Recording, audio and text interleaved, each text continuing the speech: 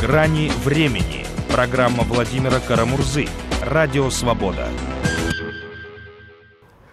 Здравствуйте. Пошли уже третьи сутки с момента задержания журналистов э, телеканала Life News Олега Сидякина и Марата Сайченко.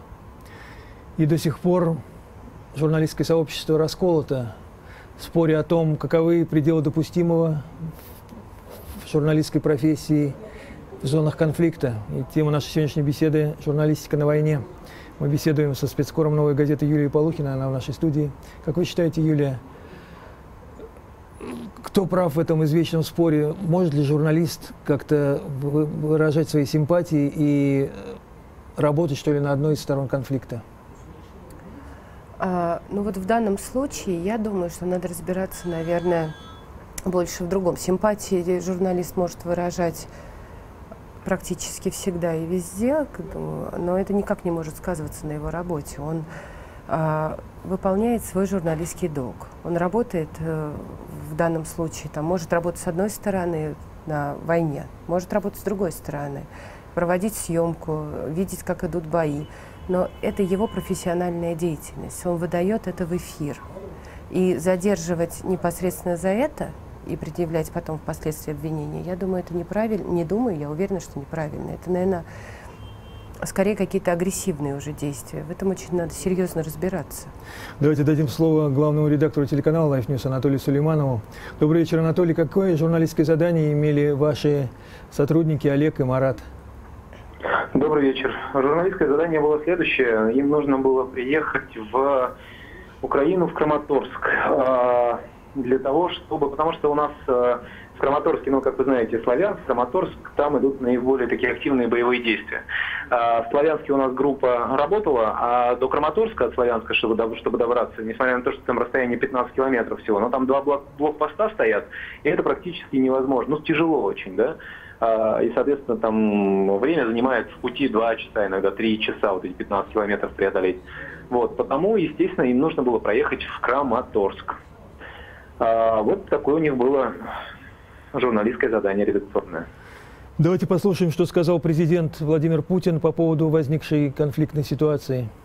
Нам очень сложно будет э, строить отношения с людьми, которые приходят к власти на фоне продолжающейся карательной операции на юго-востоке Украины и э, препятствуют работе прессы причем не просто препятствуют, а ведут себя все более агрессивно и агрессивно. Это, конечно, с точки зрения легитимации, с точки зрения объективности результатов будет вызывать, конечно, у нас большие-большие вопросы. И я очень рассчитываю на то, что наши партнеры и в Европе, в Соединенных Штатах услышат и поймут, наконец, что происходит. Абсолютно, как мы недопустимо то, что сейчас происходит с э, журналистами. Ведь э, журналисты Life News, которых там сейчас уже во всех смертных грехах обвиняют, в том числе в том, что они там оружие какое-то проносят, что полная чушь, абсолютная чушь и бред абсолютно. Но э, задерживаются также иностранные граждане, которые работают на, на российские средства массовой информации. Это абсолютно недопустимо. И, конечно, изначально будет возникать большой вопрос по поводу легитимности э, всех этих политических процедур. Надеюсь, что э, и украинские власти предпримут необходимые шаги для того, чтобы облагородить, как минимум, облагородить политический процесс, который сейчас происходит на Украине. Вопрос Юлии. Вот вы работали в Одессе. В чем там была главная профессиональная трудность и каков был масштаб риска? Ну, Одесса от Краматорска все-таки отличается. Если в Краматорске э, идут какие-то реальные бои, то в Одессе этого ничего нет. В Одессе э, все-таки все спокойно, мирно, за исключением вот последних событий, которые попытались, наверное, как-то вот сместить центр тяжести. Вот. Самая большая, наверное, опасность там работа с сами, самой, э, самой, самими представителями тех или иных лагерей, потому что вот э, что сторонники Майдана, что сторонники антимайдана не верят прессе, они не верят журналистам и доведены вот до такого состояния, когда они вынуждены э, все время проверять документы, смотрят, а ты журналист, а какой? Агрессивно относится по отношению к журналистам. Вы, вы про нас все врете. И сторонники антимайдана, например, 4 э, и 3 числа, когда они там собирались, где-либо они собирались, и если они узнавали, что ты журналист, они сразу на тебя бросались и кричали, что вы, вы опубликовали, что на, мы сами себя сожгли в Доме профсоюзов. Ну, то есть вот на этом уровне. Сторонники Майдана очень боятся, что их будут снимать, э, фотографировать, снимать их лица. И, и антимайдана тоже народные дружины. В общем, вот главная опасность, наверное, работа больше с людьми. Вот. С правоохранительными органами я, честно говоря, там не пересекалась вот с, с жесткой точки зрения. Наоборот, там милиция в Одессе действовала ну, вот, исключительно вежливо по отношению ко всем. Вопрос Анатолий Сулейман. У вас это первый такой серьезный конфликтный случай с вашими сотрудниками, попавшими вот в горячую точку? Вам слово, Анатолий. Да нет, честно говоря, уже далеко не первый конфликт. Э, если, если скоро мы говорим об, об Украине конкретно, то у нас таких конфликтов было великое множество. Потому что изначально мы отправляли, конечно, наших журналистов э, достаточно официально с э, журналистскими удостоверениями, с, на границе они говорили, кто они, куда едут, что они журналисты, какое у них задание и так далее. Ну, то есть, когда у них об этом спрашивали, конечно. А, но после того, как людей уже стали депортировать территории Украины. После того, как на въезде им стали ставить в паспорт э, отметки вот эти вот э, о том, что три года они не визные, естественно, мы стали придумывать э, варианты, как нам можно проехать э, в страну. Да? И э, как раз Олег э, Сидякин и Марат Сайченко э, один из таких вариантов воспользовались. То есть мы придумали э, вариант, что они проедут туда, ну, что ребята поехали на концерт, посетить концерт. А, и вот таким образом они туда проехали как раз. Аппаратуру они с собой никакой не везли, там аппаратура у нас уже была в Украине, поэтому они проехали, что называется, такие вот пустые, да, приехали туда. Ну, их там, конечно, допрашивали, э, потому что допрашивают всех мужчин, независимо от того, из России, э, независимо от того, кем они работают и так далее. Но, в общем, они прошли эту проверку. Допрашивали сотрудники СБУ. Вчера был острый сюжет в программе «Вести», и вот ее ведущий Андрей Кондрашов дал нам интервью. Его волнует не только факт задержания коллег из Life News, но и раскол в профессиональном сообществе. Но что в этом плане меня особо беспокоит, это то, что отношение внутри России к этим происшествиям стало кардинально противоположных с двух разных лагерей, которые, на которые разделила нас всех журналистов эта информационная война. Ведь помните, когда в плен попадала, например, Елена Масюк из НТВ, когда попадали четверо сотрудников и Тартас, и ВГТРК, Юрий Архипов, Николай Мамулашвили, ведь тогда мы все общим, единым лагерем боролись за то, чтобы их, чтобы они получили свободу. И никто никогда не думал на тот момент, НТВ ли это, ВГТРК ли это, телеканал России или радио России. Да? А сейчас меня немножко настораживает, вернее даже не немножко, а очень сильно настораживает ситуация, когда в помощниках УСБУ оказываются совершенно наши же журналисты, наши же российские граждане. Вопрос Юлии. Там чувствуется цеховая солидарность? Кто-то помогает вот друг другу вам из конкурирующих изданий? А, я не могу так сказать. Единственное, я вот э, обратила внимание, ну, только, наверное, по видео. Хотя мы общаемся с вот моими а, коллегами-журналистами, когда мы туда выезжаем, вот с журналистами Russia Today, ну, я не могу их назвать конкурирующими вот, э, с журналистами одесских различных изданий. То есть, ну, там как-то все вместе, все общаются, все обдумывают и совместно приходят к каким-то выводам часто очень осмысливают, потому что, ну, э, в силу особенностей работы. Вот в Одессе был момент, когда люди стояли около отделения милиции, где были задержаны эти одесситы как раз. И э, дом, дом-колодец. И невозможно стоять около двух входов одновременно. И вот мы с журналистами попеременно сменялись и отслеживали ситуацию, да, и так координировались из разных изданий и, и работали впоследствии, как бы ты пишешь все, все, что ты увидел сам. Вопрос Анатолий Сулейман. Вот сегодня Мила Йовович на Канском фестивале держала, по-моему, плакат с призывом освободить ваших сотрудников. И Госдепартамент США обратился к СБУ Украины с той же, с той же Э, инвективой, с тем же требованием. Вы чувствуете солидарность международного сообщества? Вам, Анатолий, слово. Да, конечно. Э, я чувствую ее, но это, это солидарность, да, но эта солидарность, э, скажем так, э, образовалась только после того, как мы подняли вот эту вот такую достаточно большую компанию, да, подключили изначально наших чиновников, подключили изначально наш МИД, затем ОБСЕ подключилась, потом Human Rights Watch, да, э, то есть все вот эти вот организации. И, э, наконец, э, по Госдепу я могу сказать следующее. Они же изначально, буквально за сутки до того, как они наконец сказали, что наших ребят можно отпустить, если они не виноваты, э, представитель Госдепа Дженнифер Псаки заявила, что а у нее есть основания не доверять э, тому, что наши журналисты это журналисты, а не террористы. Э, ну, исходя из источников в Киеве. Поэтому вот что касается всех остальных, ОБСЕ там и так далее и тому подобное, да, тут действительно все объединились. Ну и, скорее всего, Госдепу, я надеюсь, что просто она, проверив все вот эти источники, на которые ссылалась э, представитель, да, они поняли, что эти источники, ну, привирают, скажем так. У нас сейчас есть стопроцентная уверенность того, что нашим ребятам этот ПЗРК подкинули. То есть мы в этом не сомневались совершенно. Единственное, что э, нам нужны были какие-то вот, ну, такие доказательства, чтобы чтобы можно было ими оперировать. Да? Мы эти доказательства сейчас получили, мы пока не можем их озвучивать, но они у нас вот прям вот прямо есть они у нас.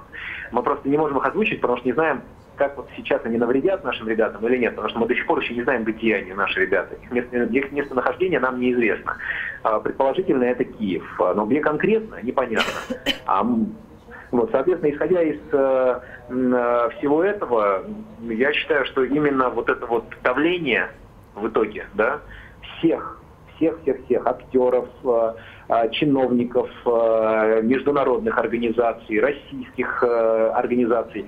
И наших коллег в первую очередь, спасибо вам всем огромное, и позволило как-то переломить все-таки ситуацию, и мы понимаем, что ситуация в Украине уже переломлена. Раз уж Порубий сегодня заявил, что нашим ребятам что нашими ребятами занимается какой-то следователь, то есть некое правовое русло в итоге дела выведено наконец-то спустя 96 часов, как их удерживают. Но это говорит все-таки о результате. Отсутствие цеховой солидарности внутри самой России Андрей Кондрашов объясняет по-своему цеховой солидарности, на мой взгляд, сегодня а, мешает та информационная линия, которая благодаря грантам ли, хорошим отношениям ли, но держит определенную линию среди российских СМИ. Я не буду перечислять по пальцам эти СМИ, их можно действительно перечислить по пальцам. Слава тебе, Господи, их немного, но тем не менее они имеют свою аудиторию и свое влияние в, нашу, в нашей жизни. Они, на мой взгляд, сегодня просто не могут отойти от генеральной линии, которую транслирует Госдеп. А, я не вижу никаких различий в, в подаче украинских э, событий э, со стороны этих СМИ, которые сегодня вдруг вместе с Госдепом и вместе с СБУ стали обвинять наших журналистов в пособничестве терроризму. Но это нонсенс. Ведь вы понимаете, специфика журналисты работы заключается в том, чтобы добыть информацию. Сегодня Life News работает как профессиональнейшее телевизионное агентство. Они оперативные, они повсеместные, они быстрые и профессиональные. Вопрос Юлии Полухина. Вы принимаете на свой счет вот эти обвинения Андрея Кондрашова? Он, судя по всему, имеет в виду новую газету и радиостанции либеральные.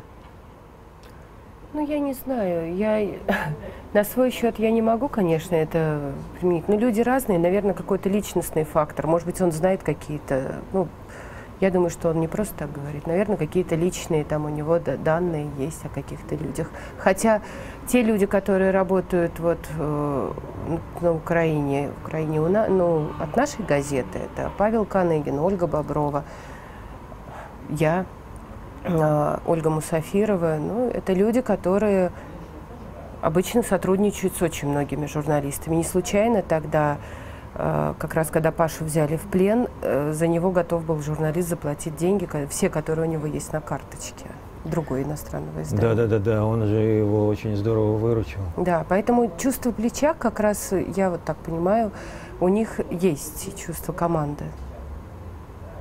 Ну, можно ответить Андрею Кондрашову, который обвинил своих коллег в ангажированности, то есть что его самого обвиняют в ангажированности, однако он сам посмеивается над теми, кто его в этом упрекает. с улыбкой. Но почему-то моя улыбка как раз больше всего и раздражает а, украинских коллег. Почему-то они совершенно не готовы да, к тому, чтобы над, ним, над ними мы смеялись. К сожалению, они сегодня вызывают как раз смех и, ну, скажу вам честно, сквозь слезы. Потому что им действительно очень трудно работать сейчас. Нам правда легко.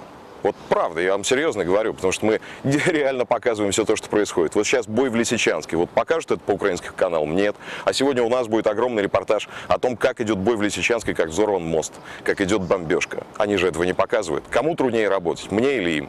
Когда меня упрекают лично, да, приходят какие-то э, колкости в социальных сетях, но правда, ничего кроме улыбки у меня это не вызывает. Потому что если люди не идут на прямую дискуссию, не хотят поспорить, хотя мы очень часто приглашаем приглашаем их в студию, да, ну, значит, нет аргументов. Они заканчиваются буквально сразу, как только прописные какие-то э, факты, которые они запомнили и разучили, заканчиваются. Да, как только они заканчиваются, им больше нечего сказать. Вопрос Анатолию Сулейманову. Удается найти украинских адвокатов для ваших сотрудников? Да, конечно, они, мы их нашли уже два дня, они вместе с нашими юристами работают в Киеве, э, ездят, э, даже три дня ездят э, уже по всем СИЗО, в первую очередь объехали все СИЗО, все ИВС Киева, в том числе СИЗО, которое принадлежит СБУ. Соответственно, во всех этих СИЗО наших ребят э, не обнаружили. А в самих СИЗО сказали, что вот у нас э, так, так, так вот так, так, такие законы, что ну если нет СИЗО, значит вот у нас смысла нет их прятать в СИЗО конкретно. Но если вы не можете найти ваших ребят, то вполне вероятно, что они могут быть либо в СИЗО другого города какого-то, любого, Днепропетровска, например, как вариант, либо где-нибудь э, в какой-нибудь воинской части. А, под тем же Киевом. Ну, а туда, соответственно, юристам, адвокатам вход заказан. Ну, и найти это будет достаточно сложно. Вот. А, но, тем не менее, мы где-то процентов на 80 продолжаем быть уверенными, что они находятся в Киеве. Просто потому, что пока у нас э, больше информации приходит все-таки, что они в Киеве находятся. Хотя мы не исключаем и других вариантов тоже. Ну, например, Днепропетровск. Юлии вопрос. В чем специфика вот работы юристов э, сейчас вот в нынешней Украине? Ну, в целом адвокаты, я насколько знаю, с адвокатами постоянные сложности возникают, э, когда ищут. Вот, например, я знаю, искали э, девушки, это не журналистка, вот моя Мария Калида, угу. ей искали адвокатов достаточно долго на Украине, ну, вот, в Киеве, во всяком случае.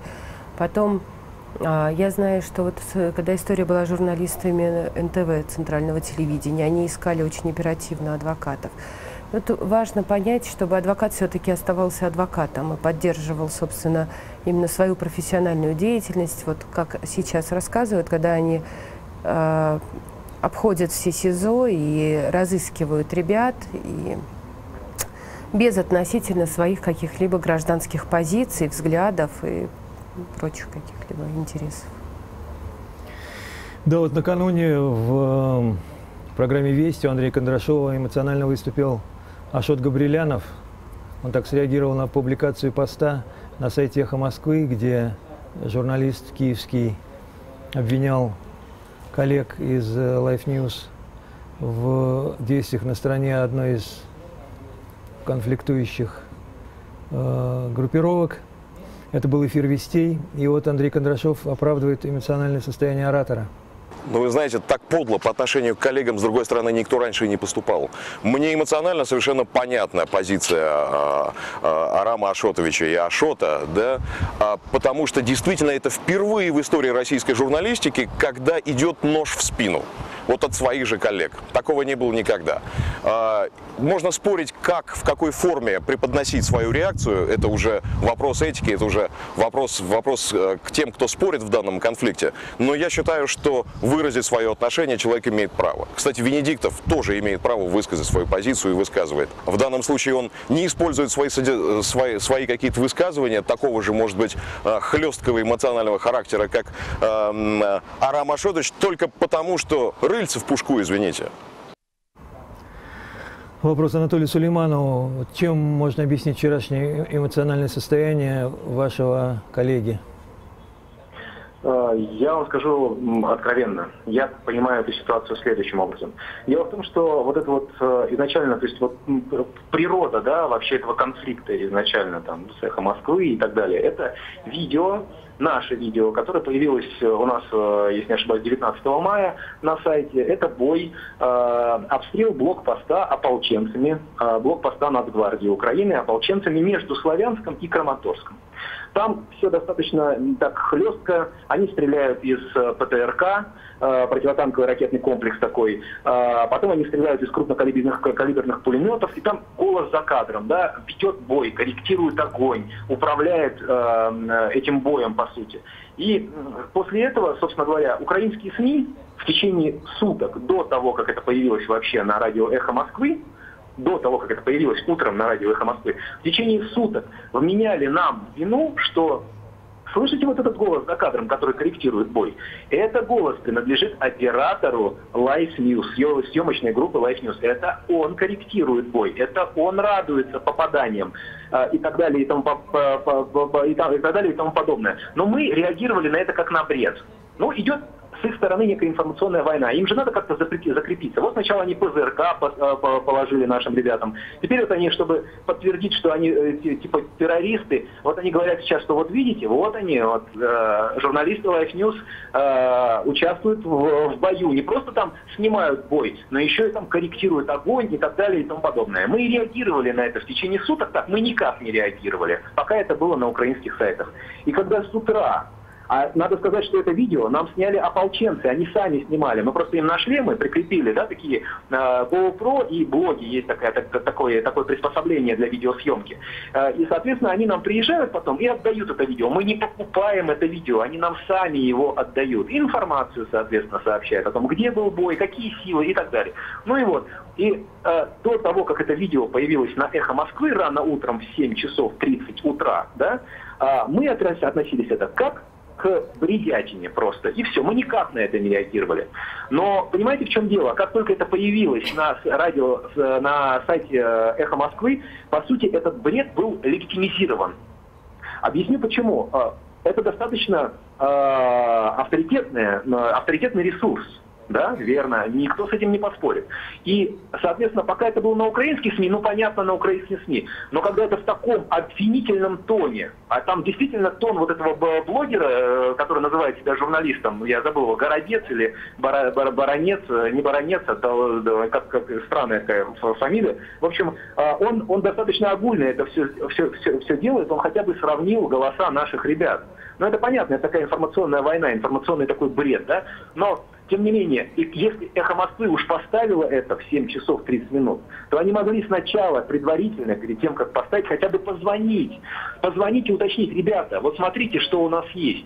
Вы Скажите, что вы по этому поводу вообще думаете? А мы бы сказали, что мы думаем. Мы бы сообщили, послушайте, у нас есть конкретный ополченец, у него позывной Моторола. Именно его голос звучит за кадром.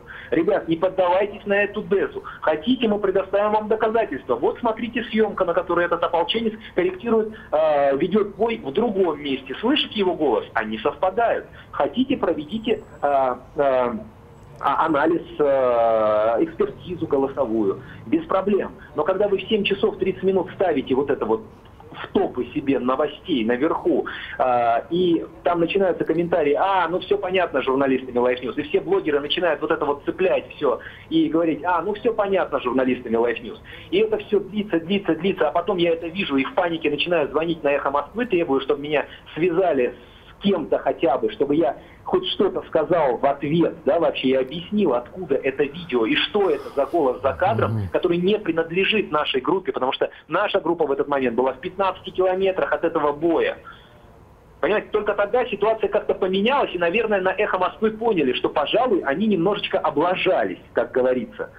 Потому что за наших ребят там была назначена, э, за, за ребят, которые в Славянске работают, была назначена конкретная цена. Я не хочу называть этого человека, но э, была цена сначала 10 тысяч долларов, потом 20 тысяч долларов. А когда вот это видео э, стали обсуждать украинские СМИ, а потом еще и наши «Эхо Москвы» это у себя опубликовало, соответственно, цена поднялась до 30 тысяч долларов. Понятно, Анатолий. Давайте дадим слово Юлии. Естественно, да. это оскорбление, оно понятно, вы понимаете? Это действительно нож в спину. По-другому это назвать невозможно. Юлия, как по-вашему? Я думаю, что сам да. Венедиктов отлично это понимает. Да, вот, к сожалению, он сейчас на Петербургском форуме и не сможет, э, но мы потом у него отдельно спросим его мнение. Вопрос Юлии, как по-вашему, вот эти вот э, жареные съемки, которые сейчас кишат, которыми интернет, можно их вот вешать на сайт какого-то конкретного издания без э, пред, э, как бы сказать, предпродакшена, без проверки? Вот у нас была одна ситуация, могу привести просто пример, это нашей редакционной политики, когда я захожу к главному редактору, я общаюсь со своими знакомыми в Харькове, общаюсь со своими знакомыми в Донецке обладаю какой-то информацией, подхожу к главному редактору Дмитрию Андреевичу Муратову и рассказываю, вот в данном случае, что мне рассказали люди, журналисты там, оттуда. Он мне говорит, Юль, вот на Украине сейчас такая ситуация. Мы не можем объективно оценить, что там происходит и что говорят люди. Мы верим только нашим журналистам. Поэтому вот в нашей газете публикуется только то, что видят непосредственно журналисты новой газеты вот своими глазами. Угу. Вот. Объективность, ну, вот, вот такова, правда. Потому что там действительно идут военные, разворачиваются где-то бои, где-то боевики берут в плен людей. Кто из них боевики? Какого они качества, формата? Являются ли они боевиками? Ну, все вызывает вопросы. Там смутное время отчасти. То есть вы услугами информаторов таких стараетесь не пользоваться, да? Я бы сказала, что не пользуемся вообще. А вот как вам та позиция, которую Анатолий занимает, что можно вот этот регистратор поставить на каску? Опять же, нет, это другая ситуация, он очень внятно объяснил, это его журналисты приехали, они переговорили с конкретными людьми, они их видели своими глазами, а, они есть, с ними работают, у них есть договоренности. Такой есть, да? Да, и они в них уверены. Они лично на них, видимо, закрепляли какие-то свои устройства, и потом лично, я думаю, снимали с них эту информацию. То есть, когда они пришли с боя. То есть, это какой-то, наверное, был пост, на котором они их отправляли, на котором они их встречали. Поэтому я думаю, что здесь такая же ситуация. Журналисты Life News, я думаю, доверяют, руководство Life News доверяет своим журналистам. Я видела их видео в Одессе, я видела их видео там и в, Слав... в Славянске видела вот в Краматорске только, правда, их вот задержанных. Но у них много, они работают. А есть у них, вот, как вы считаете, на стороне, вот, что ли, Киева официального такие же информаторы? Я не могу сказать, поскольку не очень слежу за тем, что вот о них публикуется. А, в силу того, что не всегда там некогда, нет, нет, есть время. Но я думаю, что при желании есть, например, вот Аркадий Бабченко поехал же, он журналист другого издания, но вот он поехал а, и общается с Э, войсками Украины, с Нацгвардией, да. да, и работает с ними Я сейчас. с ним сегодня говорил, да, он там. Вот. То есть это, я думаю, даже не выбор журналиста, а журналист, с кем получается договориться, с тем и работает. Но в данном случае, может быть, какие-то личные контакты, проще выстраиваются отношения там, и так это все. Давайте послушаем Андрея Кондрашова, который пока не видит точек соприкосновения с теми, кто думает иначе, чем он. Понимаете, Понимаете пока, пока в обществе не будет модным говорить все, что угодно, лишь бы это было против власти, пока пятая колонна на наших глазах не будет формироваться каждый день, мы не избежим цехового раскола. И если от нашего большого журналистского цеха отколется его пятая колонна, я буду только рад. Понимаете, вот отличие всего лишь в том, что вот, например, а, мы, да, а я в данном случае представляю государственные СМИ, вне всякого сомнения заступимся за любого гражданина, который, исполняя свой профессиональный долг журналистский, попадет в плен. Но я сильно сомневаюсь, что те люди, которые сегодня критикуют Life News, заступятся также за всех. Они будут подходить очень-очень избирательно. И все будет зависеть от того, а, каковы на тот момент взаимоотношения Москвы и Вашингтона. Если они будут такими же, то на любого журналиста, который отражает государственную точку зрения, будут спущены все те собаки, которые сегодня пятая колонна спускает на Life News. Вот вопрос Анатолию Сулейману. У вас есть информаторы среди сторонников Майдана? И также работают ли на их стороне ваши сотрудники? А, вот когда только все начиналось а, в Киеве, еще в ноябре прошлого года, в декабре прошлого года, январь, середина февраля. А у нас были, были очень, у нас было очень много людей, которые нам в том числе помогали а, с украинской стороны. А, причем, вы знаете, вот я вам честно скажу, очень большое, очень большое значение имеют а, деньги. Мы вот настолько, настолько легко люди, там, услышав о какой-то сумме, там, пусть даже небольшой, шли на контакт, что вот, даже в России такого не бывает. Не то, что даже, а вот в России такого не бывает, поверьте. Вот, но с течением времени, ну, с тем, как э, развивались события, да, там, Славянск, э, Донецкая республика и так далее и тому подобное, да, людей таких становится все меньше и меньше, но на самом деле у нас есть, конечно, такие люди, которые нам сообщают. В том числе я уже об этом говорил. У нас э, есть э, источники в СБУ тоже, которые точно так же нам помогают. Причем уже на самом деле помогают совсем не за деньги, угу. а вот за идею помогают. Потому что им не нравится то, что происходит в стране. Потому что вот ситуация сейчас такая, что уже деньгами э, там, скажем так, э, уже ну, ничем не помочь. Да? Тут в этой ситуации уже нужно принимать какое-то решение. Ты на этой стороне или на той, скажем так. Вопрос Юлии. Как вам тоже в Одессе работалось вот среди двух враждующих лагерей? Тяжело психологически скорее, чем... А, я когда приехала в Одессу, полдня я провела со сторонниками антимайдана, и они рассказывали очень страшные вещи. А, позже я приехала к сторонникам Майдана. Это не отряды самообороны, а именно вот сторонники Майдана. Они были в Киеве, они в Одессе. Они не оправдывали э, то, что произошло в Доме профсоюзов, но логически старались это объяснить. Вот как к этому можно было прийти. Мне немножко это было чуждо, и не поддавалась моему осознанию, потому что я в конце все-таки им сказала, что а как же вот, ну, все-таки погибшие люди, их ничем нельзя оправдать, это преступление. И, видимо, вот как-то придя в себя, они мне так сказали, ну, Юля, если ты думаешь, что мы это одобряем, то, в общем, ты ошибаешься, мы это все осуждаем. Вот. Сложности есть свои. Принципе, скорее какая-то реакция возникает уже после публикации. Ты публикуешь, и у людей э, там вот рецепторы чувства, они настолько обнажены, что они воспринимают немножечко все по-другому. Они, когда ты стараешься объективно писать и про ту сторону, и про другую, и об их ответственности, и та, и другая сторона начинает обижаться и говорить, а почему ты про это написала? А про это почему написала? А ты не написала, что вот сторонники Майдана помогали, хотя вот я описала конкретного врача, который помогал. Ну вот есть такие вот вещи, и сложность только в этом. Впоследствии это может где-то а, прервать твое общение с людьми, причем еще вчера ты с ними общался очень хорошо и очень тесно, а завтра можешь приехать, и они тобой даже не поздороваются, это будет их выбор, потому что ну, их можно понять, у них другое состояние, у них другое понимание сейчас реальности. Они действительно видели кровь на Майдане, видели кровь тут. И я не могу даже осуждать этих людей. Вопрос Анатолию Сулейманову. Как вы считаете, после вот этого конфликта можно ли будет констатировать, что полностью испорчены отношения у Life News с официальным Киевом, и вы сможете работать только на стороне сепаратистов? Вы знаете, а, я думаю, что здесь и так уже все понятно. Да?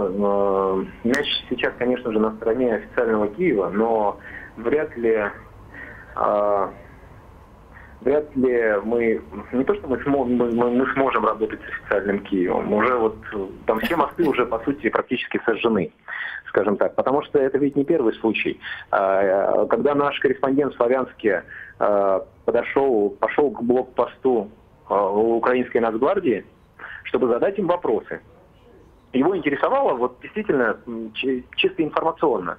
А, во сколько был бой, а, сколько человек погибло с этой стороны, сколько человек погибло с той стороны, раненые есть, нет раненых, есть ли вообще погибшие. Да? Его действительно э, интересовала чисто вот информационная сторона этого дела. Так вот, наш корреспондент Сергей Галяндин, мы уже об этом говорили и писали, а, пошел в сторону блокпоста, его там поставили на колени, ткнули в него стволами, и там передернули стволы, ткнули в него, да, ну и, соответственно, вот после этого, вот правда, и все это на самом деле на глазах его девушки, скажем так, которая работает корреспондентом и которая с ним там работала. А, ну, вы понимаете, тут, тут вообще очень сложно. Или когда наших ребят в Краматорске, того же Олега Сидякина и Марата Сайченко, да, а, когда они пробирались к, к, к месту боя, там, где они сняли вертолеты ООНовские, это именно они сняли вертолеты ООНовские с символикой ООН, когда они пробирались к месту боя. Их несколько раз обстреляли. Ну, вот, понимаете, сложно как-то сложно как-то говорить с людьми, которые в тебя стреляют, которые тебя ставят на колени и так далее. Это действительно сложно, это по-человечески сложно в первую очередь. Я думаю, что вы меня понимаете. Андрей Кондрашов, который дал нам сегодня интервью, он один из тех журналистов, которые были награждены за освещение событий на Украине. Он убежден, что защищал интересы страны. Ну, вы знаете, там на награде это не написано ничего, что, что написано на любой медали или ордене.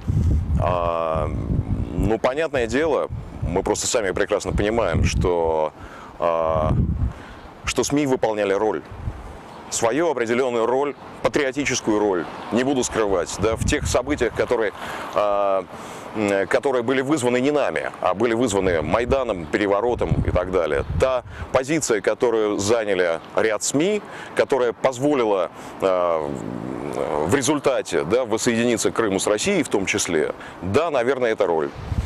Я думаю, что достойно отметить СМИ в этой ситуации. Я не особо горжусь по своему характеру ни наградами, ни поощрениями, ни похвалами. Вот. Но в данном случае отказываться от этой награды я никогда не буду. Это часть истории моей страны. Юлия, как вы считаете, почему вот журналисты новой газеты там, и других не столь э, верных Кремлю изданий, опальных даже, можно сказать, изданий телеканала «Дождь» не были награждены этим секретным указом? Да не знаю. Анатолий, а ваши были награждены сотрудники? Да, наши сотрудники были награждены. Ну, уже давно это не секрет, что это секретный указ. А вы как-то подавали наградные листы или это была инициатива Кремля?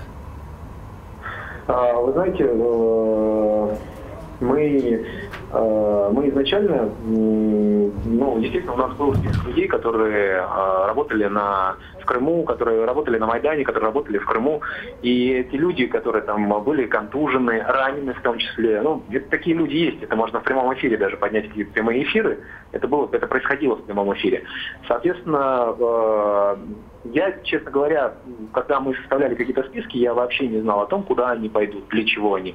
Я просто составил, у меня был список ребят, которых мы должны были наградить внутри компании по итогам, скажем так, командировок.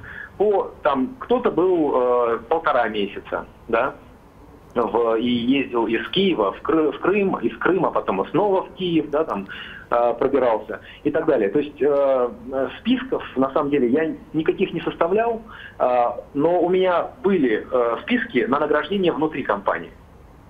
И э, там так получилось, что эти списки затем уже оказались э, через какое-то время э, люди из этого списка оказались награждены. А так изначально мы их поощрили именно в компании денежными, денежным вознаграждением. Но мы их поощрили за то, что в первую очередь они э, действительно, работая там, в непростых условиях, это, ну, прежде всего, непростые условия, вы понимаете, да, э, ну, по сути, работали и люди терпели, действительно терпели лишения. Я вот помню, когда у нас взяли тоже заложниками Елену Масюк, Дмитрия Ольчева, Илью Мордякова на НТВ, наше э, руководство перестало посылать на некоторое время в командировки людей. Я даже знаю, что в «Новой газете» бывали такие времена. Как вы считаете, вот вопрос Юлии, можно ли сейчас вот в таких сложных условиях отказаться от того, чтобы все-таки работали наши сотрудники в горячей точке? Я не знаю, насколько это целесообразно. Есть, да, сейчас я спрашиваю, есть связь с Киевом? А, тогда вот давайте у нас на связи Антон Геращенко, замминистра внутренних дел Украины. Добрый вечер, Антон. Скажите, пожалуйста, что инкриминируется Олегу Сидякину и Марату Сайченко? Э, инкриминируется пособничество террористам, поскольку они присутствовали в момент подготовки террористического акта, когда террорист готовился запустить ракету в сторону украинских военнослужащих, могли погибнуть люди. И, в общем-то, по-другому есть такое понятие «СНАФ-видео».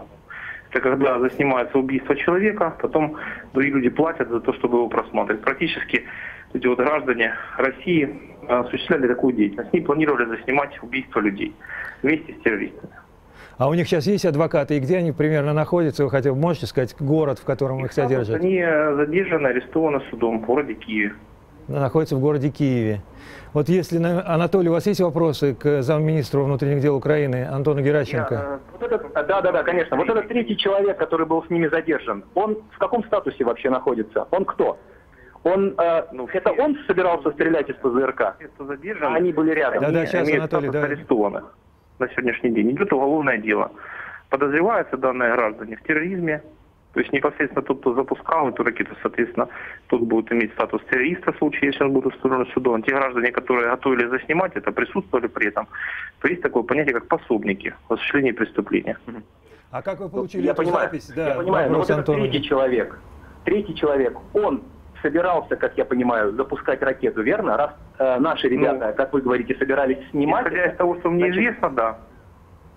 А кто он такой-то? Может быть, он вообще случайно как-то там оказался? Дело, дело ведется Служба безопасности Украины. Эти три гражданина на сегодняшний день находятся в ее видении. Поэтому я деталей по фамилиям, именам, как он там оказался, я вам сказать не могу. Я могу сказать одно, что если бы в Российской Федерации где-то какой-то гражданин готовился запустить противотанковую ракету, и рядом с ним бы находились журналисты телеканала там «Россия», например, да, и они были бы задержаны в ФСБ, то я думаю, что судьба была бы аналогичной.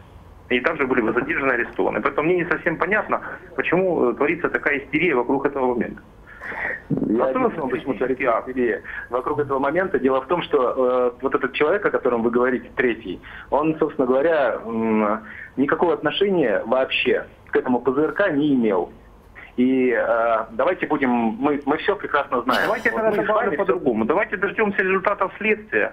Результаты следствия давайте, переданы в суд. Давайте, суд вынесет свое решение. Давайте даже. Тогда это будет максимально объективно. Давайте запомним, давайте запомним этот разговор. Вот лично вы и лично я. Запомним этот разговор. И э, посмотрим. Э, буквально через, может быть, день-два вернемся к этому с вами разговору. Может быть, мы не вернемся, но и вы будете знать результаты, да, а, и я буду знать результаты. И вот этот наш разговор, он, а, как, как сказать, вы измените свое мнение. Я более чем уверен. Ну, или изменят свое мнение, по крайней мере, те люди, которые вот сейчас нас слушают, которые верят вам они изменят это. Мнение. Смотрите, я, я не прошу верить мне, я высказываю свою точку зрения, да, вы высказываете вас. Я понимаю. Я знаю только одно. Скажите, а в каком суде они, а в каком суде они, а в каком суде они были? Что говорите? Алло, Алло, в каком суде они арестованы? Вы можете подсказать, в каком суде? Еще раз, еще раз повторяю. Я работаю в Министерстве внутренних дел. Данные граждане находятся в ведении службы безопасности Украины. Соответственно, служба безопасности Украины завидует вопросами, в каком суде принимаются меры пресечения по данным гражданам. Сегодня Госдепартамент США обратился с просьбой э, повнимательнее отнестись. К, а могли бы американцы стать посредниками в решении судьбы российских журналистов? Ну, если Госдепартамент обратился, он обратился в Министерство иностранных дел. Я не пережил стрелки, но так и есть. Поэтому, наверное, мог бы. Наверное, мог бы участвовать в таких вопросах. Но я еще раз хочу сказать, как бы отнеслись российские граждане если бы э, где-то э, в России были завтра э, найдено три гражданина, которые бы при себе имели целый комплекс, э, так сказать, ПЗРК, э, ручных гранатометов и так далее, как бы отнеслись бы к ним, если бы бы арестовала ФСБ по подозрению да, подготовки террористического акта? Это было бы нормально, например, в Подмосковье где-то, рядом с аэропортом, понимаете? Это было нормально, как вы считаете? Ну, Антон, мы не отвечаем за Кремль, мы же независимые журналисты. Давайте мы так поставим Вот я вопрос. поэтому говорю вам всем сейчас радиослушателям, я не совсем понимаю, в чем проблема в данном случае. Задержаны граждане, есть видеозапись, вокруг них валяется куча оружия. По тем данным, которые э, обнародованы Службой безопасности Украины, эти граждане, э, так сказать, э, планировали совершение террористического акта. А как вы думаете, возможен ли их обмен, обмен на ваших сотрудников, которые могут оказаться в руках сепаратистов? А как вы считаете, Антон? Ну, если на то будет принято соответствующее решение, наверное, да. Хотя это тоже ненормальный процесс, откровенно говоря. Граждане э, России или граждане других стран, которые участвуют в помощи террористам, должны нести свое наказание. Ну, бывает всякое, Антон. Терроризм это тяжкое преступление и в России, и в Украине, и во всем цивилизованном мире. А в каких условиях они содержатся? Хватает ли им еды, там, воды? Может, они какие-нибудь просьбы имеют через вас передать? Я прошу прощения, еще раз говорю, что э, я работаю в Министерстве внутренних дел. Их является служба безопасности Украины. Поэтому эти вопросы уже адресовать туда. Насколько я понимаю, у нас цивилизованная страна и со всеми задержанными относятся хорошо. Их э, не раздевают, не выкалывают им глаза и не пытают, как это происходит в Славянске, с теми же задержанными сотрудниками службы безопасности Украины. В этом вы можете не сомневаться. А вот в вашем ведомстве, Антон, есть какие-нибудь э, тоже подозрительные люди, которые тоже задержаны при исполнении журналистских обязанностей? У нас нет таких граждан на сегодняшний день. А были они вот за время конфликта-то двустороннего? Э, Был вопрос по журналисту Russia Today, но его, насколько я помню, э, задерживали совместно с службой безопасности Украины. И, по-моему, он уже передан как иностранный гражданин представителем иностранного государства. Да, это я мы еще знаем, да. сказать. Я предложил бы вам бы такую, знаете, тему вопроса. Какова должна быть журналистика в ходе вот такого рода конфликтов?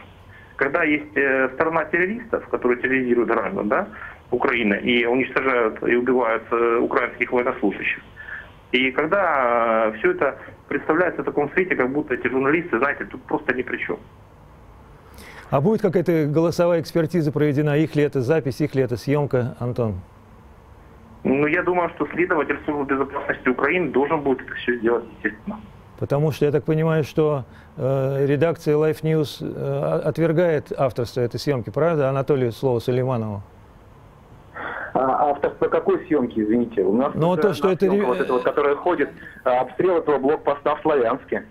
Под Славянском, вернее, между Славянском и Краматорском, в котором утверждают, что это а, якобы голос за кадром принадлежит а, кому-то из нашей съемочной группы. Это вот это вот имеется в виду, да? Да-да-да, вот экспертизу собирается провести. Господи.